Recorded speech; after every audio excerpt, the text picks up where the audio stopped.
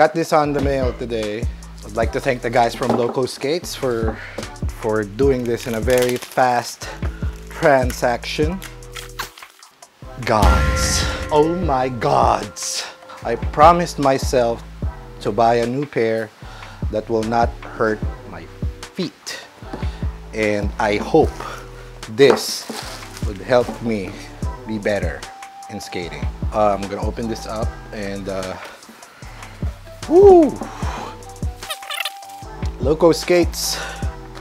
All right, so I got the Franky Morales Pro 2020 skates. So uh, what do we have here? We got tools and the manual and some basic tools that you need. This is my first time to do this. Man, it's really nice to see that each boot has their own bag, right? See? Oh God. This smells like it's freshly made. Well, it is. Woo! This looks like Jordan 12s, right? They got the Wicked bearings, cool. I got that on my USD. They got the Kaiser frames. Uh, Franky Morales' own signature um, wheel. I know that this is a US, USD 7 sole. This is just awesome. I, I've, I've always wanted to have a white skate. I can't wait to try this on and see if this would fit my flat foot, right? Because that's my problem. Looks like it's so durable. I think it would be really better if uh, there's an actual skate park where I can use this because uh, most of the time I skate on the street with a really rough surface. Oh, look at the details of this.